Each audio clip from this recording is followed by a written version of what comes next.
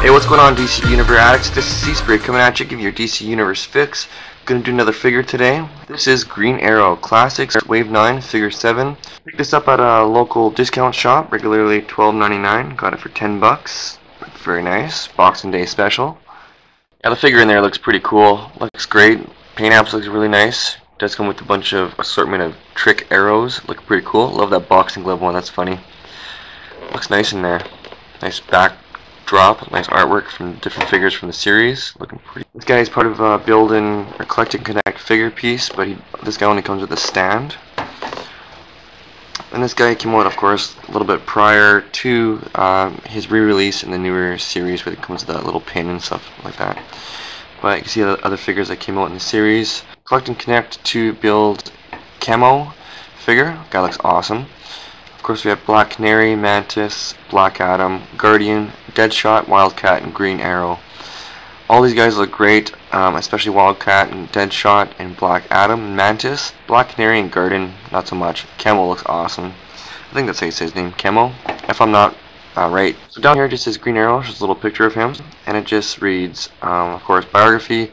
After falling overboard during a South Seas cruise, Oliver Queen washed up on on a desolate island. Facing starvation, Queen fashioned a bow and arrows to hunt game and became an ace archer. Rescue Queen Queen attended a costume party in Robin Hood in Robin Hood regalia and foiled a robbery. Using his hard-won archery skills, thrilled by experience, Queen decided to continue fighting for innocent and downtrodden as the Emerald Archer known as Green Arrow. That is awesome. So statistics, they just read first appearance, More Fun Comics number 73, November 1941. Real name Oliver Queen. Occupation Hero.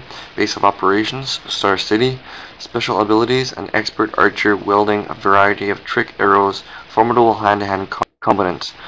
Very awesome. Of course, this is brought to us by Mattel. Matty Collector, what up? Okay, so let's just open this guy up, take him out of the package, and go over him further detail. Alright, let's do this. Okay, and here we have this guy out of the package. Green Arrow in full force. This guy's cool. He's really cool. Nicely detailed. Love that color shading on there, like on the muscle definition and what have you, and the, in the beard and stuff like that. This is a cool figure.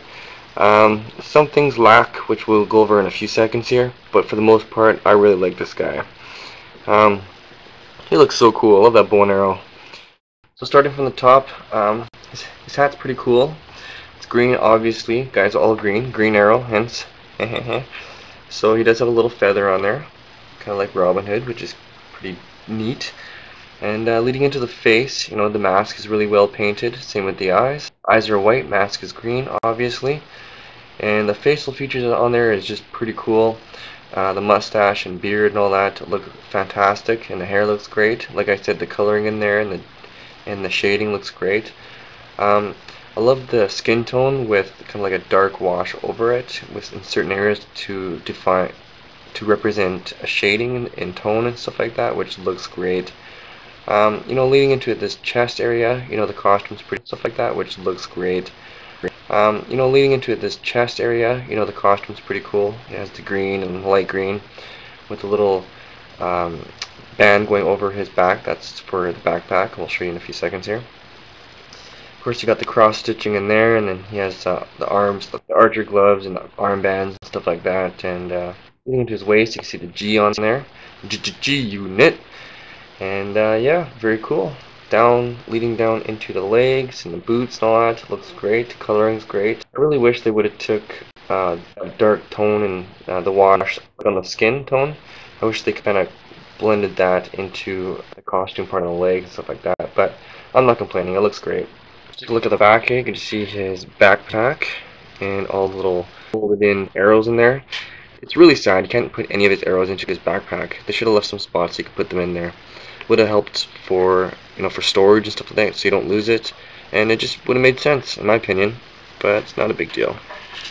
But the bow itself looks pretty cool. You know, it looks really neat. I think it does come off, but you have to move around his his hand and stuff like that. But I won't get into that. And I think the arrow is actually one with the bow, which is mm, it's okay. Some people really wish that it wasn't, but I don't I don't mind it. And of course you got the hands. One is to hold the bow and other to hold the arrow to look like it's pulling it back on there of course. It's really nice. What else? Yeah, the bow looks pretty cool. You know, it's nice. nothing special, but it's nice. So we went over the backpack and well, I'm pretty sure it has a name. I just don't know it offhand.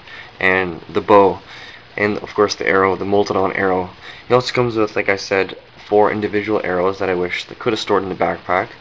Um, I'll just take a quick look at them. You know, you have this one. I guess it's for a rope and the balls on it to, like, I guess to, like Batman throws his rope and to wrap around the ankles. I guess. I'm assuming. Next up, we have a studded one, maybe an explosive one. It's kind of hard to see, but it's pretty cool. And what else? This one is also, I think, a timer bomb. It's a little, I think, zero, zero, zero. It says on there.